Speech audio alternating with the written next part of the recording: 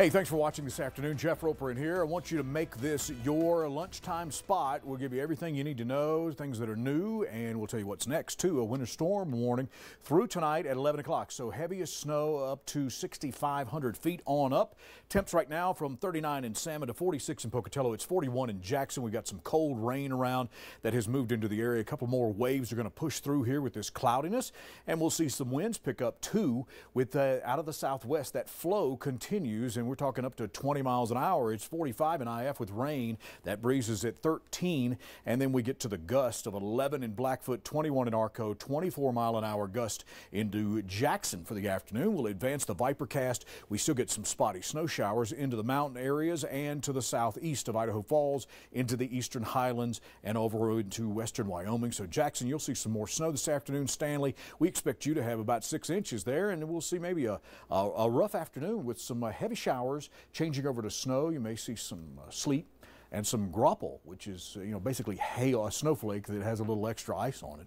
Uh, into tomorrow morning, we'll continue to see showers and breezes pick up 20 plus miles an hour. Then high pressure begins to clear us out, and by this weekend it will be freezing, but with cold sunshine, we'll see accumulations of uh, maybe six inches from Stanley to Ketchum to Bellevue and Driggs, two to four in other spots uh, as we continue to experience these wraparound showers, but mainly a wet and wintry and just, you know, windy afternoon. It's just not pleasant. I, I, can't stand days like this. Either do something or let the sun out. 43 in Jackson with showers around. It'll be 47 in Salmon today. We'll hit 50 in Pocatello tonight. It'll be chilly when you get up tomorrow morning with us. We'll definitely be below freezing at about 31 degrees in IF, 24 in Montpelier and Bern, and a wet sky cam has us at 46 for the afternoon in IF. We'll be in the mid to lower 30s with freezing sunshine and teens for Saturday and Sunday. Pocatello, 60% chance of those lingering just just obnoxious showers. And they'll be here tomorrow as well. So it may be a wet bus stop day. 42